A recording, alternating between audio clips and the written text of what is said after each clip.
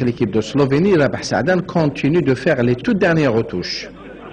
À cet événement, le stade Ogo a été choisi pour abriter les derniers galops d'entraînement. Non, ça va, on a très bien voyagé avec notre euh, vol spécial. C'est très bien passé. Maintenant, voilà, hier on a fait un petit décrassage. Et aujourd'hui, on va faire un bon, un bon, un bon entraînement, Inch'Allah. Et puis euh, voilà, la compétition, ça va arriver euh, dès dimanche, ça va arriver rapidement. Les entraînements se déroulent dans une ambiance bon enfant, ce qui est de bon augure pour le match du 13 du mois en cours. À J-4, Rabah Saadan continue à axer son travail sur le volet technico-tactique, en prenant en considération bien sûr le côté psychologique.